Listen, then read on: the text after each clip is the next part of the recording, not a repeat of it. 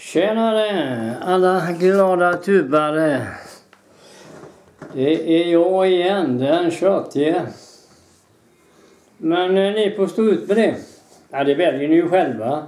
Man behöver inte varken titta eller lyssna på mig så att det är valfritt som väl det eh, Jag ville bara förtydliga för er alla som tycker att jag inte bryr mig om Christer Begander.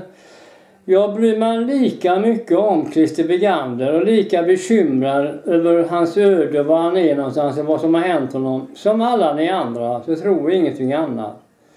Det var det jag försökte förklara med att säga att låt han vara i fred och familjen.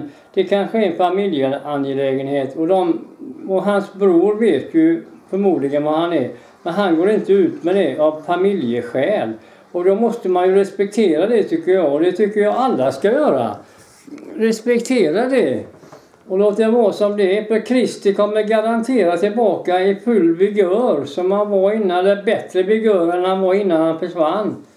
För han var nog trött och utsliten med allt farande land och rike runt och jorden runt. Med sina videor varje dag och det ena med det andra. Han har inte mer än 24 timmar än vi andra har. Och det finns ingen människa i världen som kan hålla på 24 timmar om dygnet. Det går inte. Det funkar inte så. Då går man i väggen. Och det är väl förmodligen det han har gjort, den stackaren.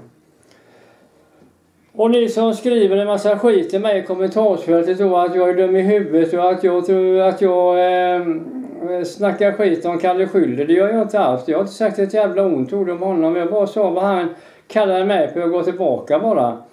Det är det enda jag har gjort. Jag eh, har ingen åsikt om honom. Jag hade väldigt högt anseende om Christer, eller han eh, Kalle Schüller. Jag tyckte om honom jättemycket innan, absolut. Men eh, det är inte riktigt samma sak nu och det är min åsikt och vad jag tycker det ska ju ingen annan försöka ändra på. Ni har redan åsikt om alltihopa det här. Både Kalle och heter han, Steve, heter han, Christer Begander och allt det här. Det är eran åsikt och den respekterar jag. Jag går inte på er och jag sa till er också i videon att eh, jag har ingen anledning att ta massa skit. Jag har rätt att ha min åsikt och ni har eran åsikt och låt det vara på det viset.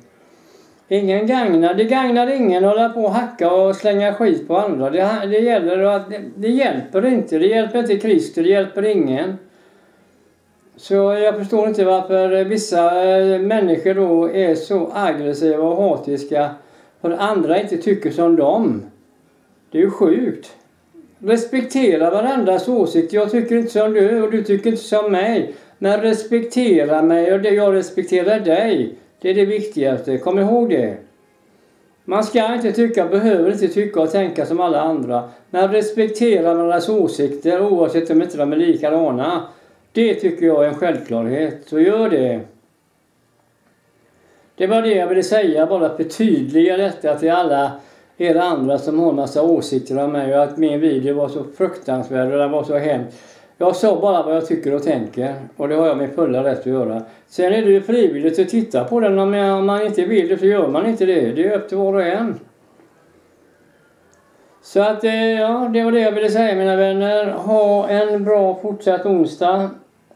Ehm, och ni som inte prenumererat på min kanal, börja med det för det är väl, ni är så välkomna. Det kostar ingenting, det är gratis.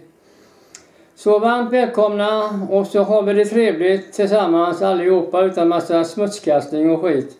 Då blir livet mycket lättare. Vi har tillräckligt med tråkigheter i världen och runt omkring oss ändå. Så vi behöver inte hålla på och slänga skit på varandra på Youtube. Det tycker jag är meningslöst. Det är bara löjligt. Väx upp ni som inte gör det. Tack ska ni ha allihopa och tjingeling!